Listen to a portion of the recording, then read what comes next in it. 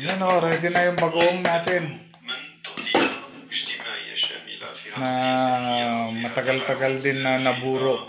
Ito yung ah, purong isda. Ginawang bagoong ni Pakner.